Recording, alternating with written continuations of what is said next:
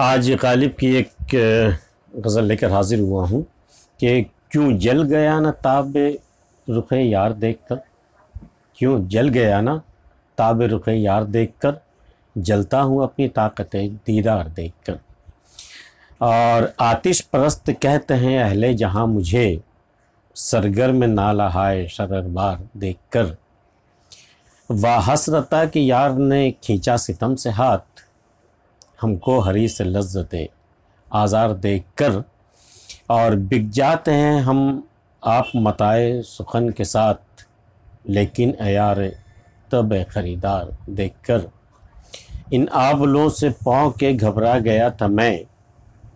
ये खुश हुआ है राह को पुरखार देख कर सर फोड़ना वो गालिब शोरीदा हाल का। याद आ गया मुझे तेरी दीवार देख कर क्यों जल गया ना? ताब रुख यार देखकर कहते थे ना कि मेरे यार का जो है वो रुख की ताब नहीं ला पाओगे तुम। जल गया ना आखिर। तो क्यों जल गया ना? ताब रुख यार देखकर जलता हूँ अपनी ताकत दीदार देखकर।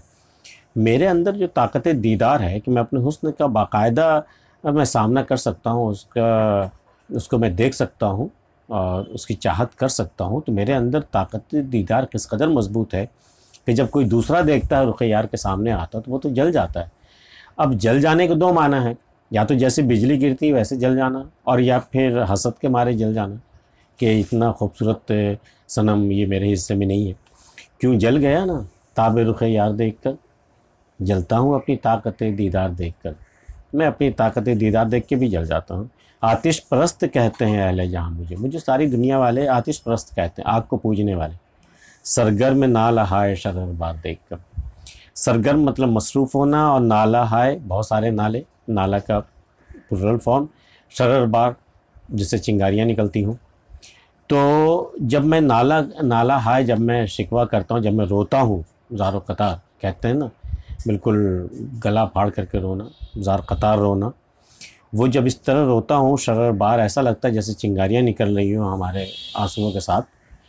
तो इसमें जब मैं मसरूफ़ होता हूँ, नाला, हाय शरर बार में, चिंगारियाँ निकलती हुई जब गिरिया बाजारी में जब मैं मुबतला होता हूँ तो लोग ये देख कर के मुझे आतिश परस्त कहते हैं कि भाई हो ना हो, ये आतिश परस्त है, ये आग को पूजने वाला है ये।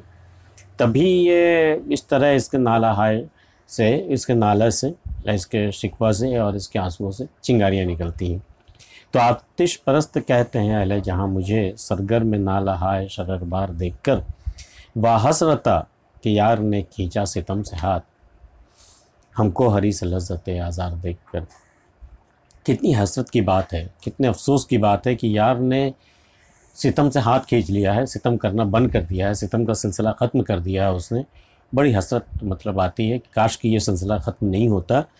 और लेकिन यार ने क्यों सितम से हाथ खींच लिया है? जुल्म जबर से क्यों उसने हाथ खींच लिया है? कि हमको हरी से लज्जत आज़ार देख कर हरीस मतलब लालची। लालच करने वाला। लज्जत आज़ार। आज़ार मतलब अजियत से लज्जत उठाने वाला।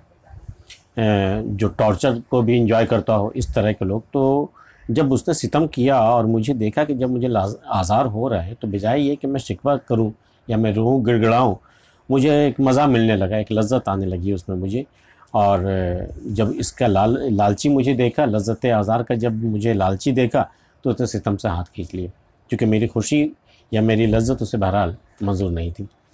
और बिक जाते हैं हम आप मताए सुखन के साथ। हम जब अपनी मताए सुखन बेचते हैं, जब हम किसी के हाथ अपना कलाम जब हम बेचते हैं तो सिर्फ़ हम कलाम ही नहीं बेचते, हम तो ख़ुद को भी बेच देने को तैयार रहते हैं कि हमारे कलाम के साथ हम, हमारा भी कोई ख़रीदार हो, हमारी भी वो कीमत लगा दे। तो बिक जाते हैं, हम तो तैयार हैं बिल्कुल बिक जा, बिक जाने को, बिक जाते हैं हम आप मताए सुखन के साथ। लेकिन अयार तब है, ख़रीदार देख।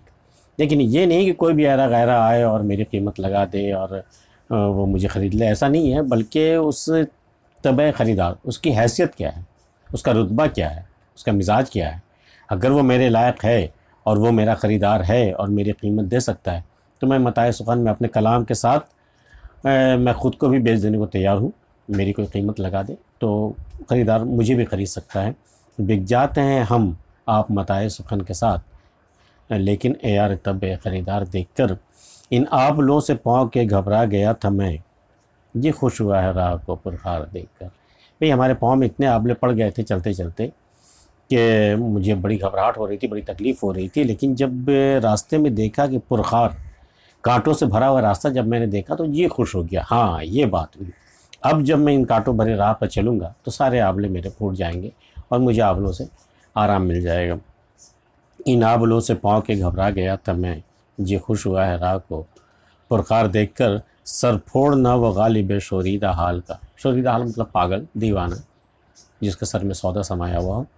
सर फोड़ ना व गालिब शोरीदा हाल का। याद आ गया मुझे तेरी दीवार देख कर जब मैं तुम्हारी गली से गुज़र रहा था तो तुम्हारी गली, तुम्हारी दीवार देख कर मुझे याद आ गया गालिब।